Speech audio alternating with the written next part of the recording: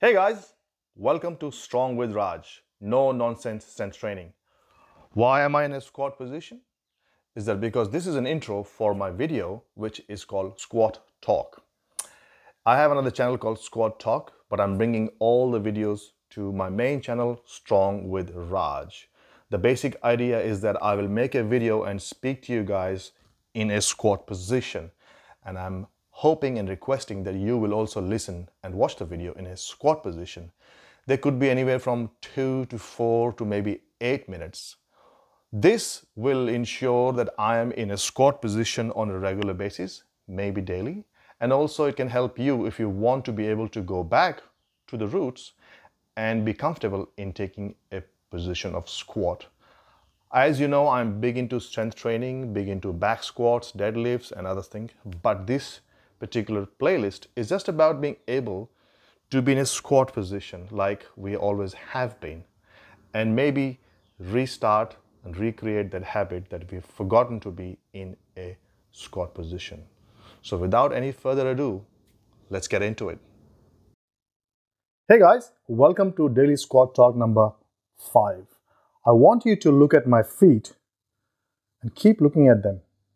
And can you see how flat they are? So when I did my video yesterday, squat video number four, before posting it, I was watching it and I looked at my feet. By the way, you can stop looking at my feet.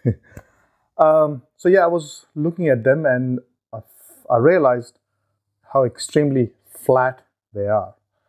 And this is something I have known for a while that I'm, I've got flat feet. So that is the kind of topic it is today for today. Uh, so when I was little, uh, younger, I should say, back in India, because my whole family members were into army, they would do this thing every now and then. So, and you can do it too if you want. Just dip your feet in the water and step on concrete. And when you remove your foot, you'll see a foot mark, I suppose. And my mark would be all just water. There'll be no gap. And they would say, oh, you will not go to the army because of this. So I think one of the criterias in Indian army at least must have been flat-footedness or how much flat-foot you are. I never ended up joining army anyway, but it sort of makes sense that uh, it could, you know, be a problem for running or something else. But I'm sure they don't have such standards anymore because you can use people in army for other things as well.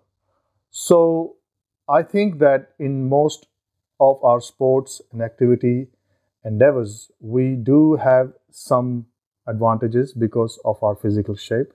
And also from some physical shapes, we could be disadvantaged. Like for example, very common one is that if you're tall, then it is not so good to do lifting uh, primarily Olympic weightlifting and even powerlifting type movements. But I don't discourage anyone to not do something because of the limitations that is caused by your uh, physical size or the shape or the length. I think the word is anthropometry.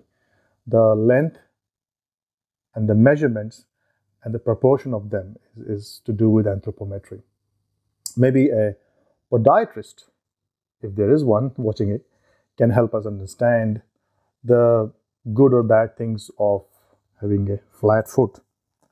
I have come across people uh, very few times who have arch, a high arch, and a super high arch as well. My ex used to have a super high arch, and I also remember she had plantar fasciitis. I don't know if that is related to someone having super high arch, but I'm definitely a super flat footed person. My femur, femurs are also short, relatively short. And I wonder every now and then um, what are the good or bad things uh, associated to that. Um, I'm personal trainer and strength coach, so I look at things that way. So I have definitely realized and come to know by a lot of observation at work that my strides are shorter and smaller than my colleagues who are much taller than me and have longer legs. It just makes sense. But I do think that being flat-footed might be now this is this is my theory. This is my my flat foot theory, as it says in the topic.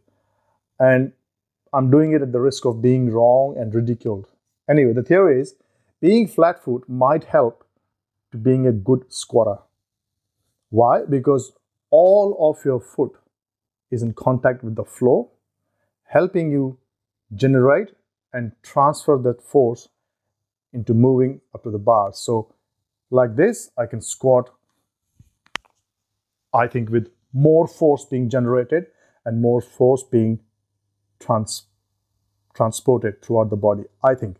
Anyway, that is just a theory. Um, I would still say that I don't discourage anyone to not pursue what they would like to, despite the limitations they have, despite their physical endowment, whether it is long legs, short arms, but also to be aware that they do have something uh, that may not give them the full advantage of what they're going to choose from.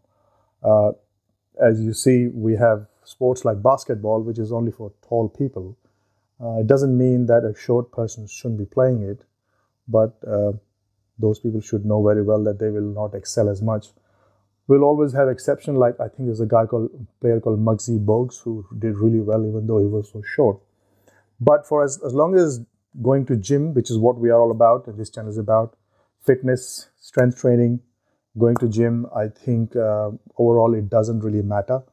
Uh, there's a very good YouTuber I follow. His name is Zack Telander, and he's all about Olympic weightlifting. And I'm pretty sure he competed in national championship in USA.